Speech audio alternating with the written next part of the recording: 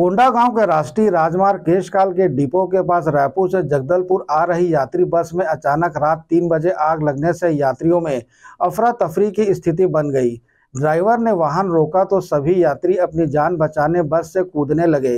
बस में आग इतनी ज़बरदस्त थी कि देखते ही देखते बस पूरी जलकर खाक हो गई। मौके पर पुलिस पहुँची और बचाव कार्य में लग गई। आग में दो महिला और दो पुरुष झुलस गए, जिन्हें नज़दीक के प्राथमिक स्वास्थ्य केंद्र लाया गया। यहाँ उनका उपचार जारी है।